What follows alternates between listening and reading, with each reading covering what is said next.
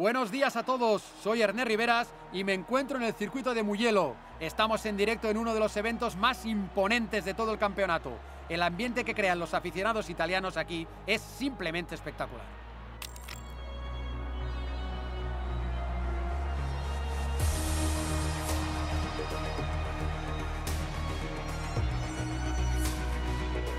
Las cámaras nos muestran imágenes de la parrilla de salida, donde vemos a los ingenieros y mecánicos haciendo las comprobaciones finales. Las condiciones meteorológicas son ideales para correr, pero los pilotos se han quejado de la falta de agarre durante el fin de semana. Para evitar sustos, muchos han decidido empezar con neumático duro detrás.